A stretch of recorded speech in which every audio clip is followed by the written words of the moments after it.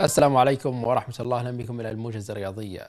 تأهل المصنف الأول المصري كريم حسام إلى الدور النصف النهائي من بطولة معالي وزير الداخلية المفتوحة السادسة للتنس وذلك بعد فوزه على الهولندي ريك ديج جروك بمجموعتين مقابل مجموعة واحدة. كما تأهل المصنف الثالث المغربي أيوب شرقوني للدور ذاته إثر فوزه على الإماراتي محمود نادر بمجموعتين دون مقابل.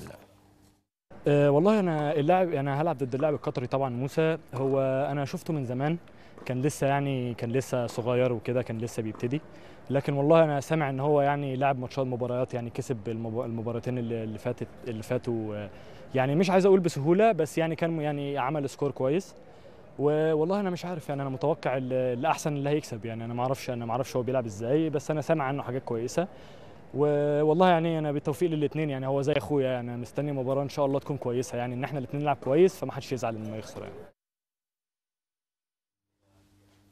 تقام مساء اليوم المباراة النهائية لبطولة سمو الشيخ ناصر بن حمد آل خليفة التاسعة لكرة القدم وذلك عند تمام الساعة التاسعة والنصف حيث تقام البطولة ضمن دورة ناصر بن حمد الرمضانية الثانية للألعاب الرياضية إذ ستجمع المباراة النهائية بين فريقي فيكتوريوس وجينرز يونايتد على استاد مدينة خليفة الرياضية.